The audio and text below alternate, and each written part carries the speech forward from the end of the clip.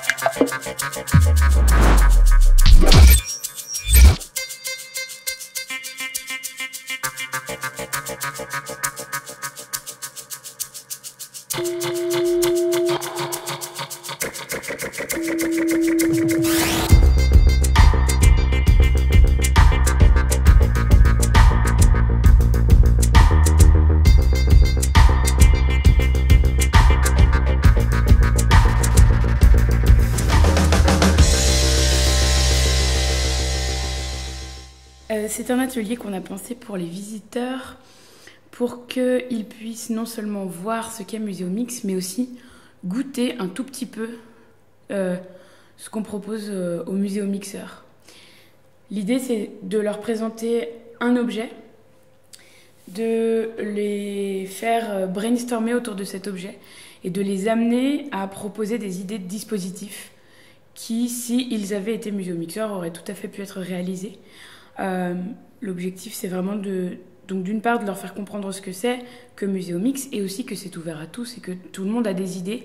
Et les muséomixeurs sont certes très doués, mais euh, ce ne sont pas non plus euh, des, des, des surhommes et des surfemmes. Il y a plein de gens compétents dans le public qui auraient pu être là.